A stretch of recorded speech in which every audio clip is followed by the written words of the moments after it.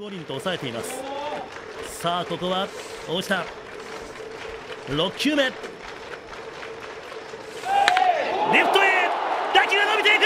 レフトどうだ？どうだ？入った！プロ初安打。初打席がホームラン！大下ライナーで持っていきました！まさかのとすみません。まさかって言ったら申し訳ないですけど。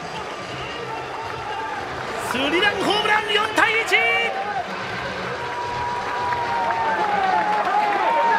プロ初打席初安打がホームランで打点付き。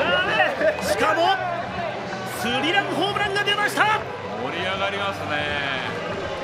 4対1中島監督代行の期待に応えました